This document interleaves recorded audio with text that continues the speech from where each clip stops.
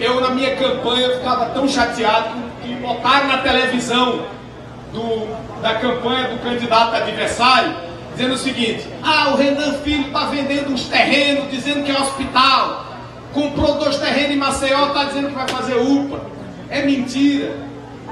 E o povo de Alagoas demonstrou na última campanha, obrigando candidato a governador adversário a desistir. Ele não teve nem coragem de ir até o final, porque o mentiroso em Alagoas sempre foi ele. Muito bem, E nunca fez nada aqui. E nós estamos hoje com as maiores entregas em saúde pública da nossa história.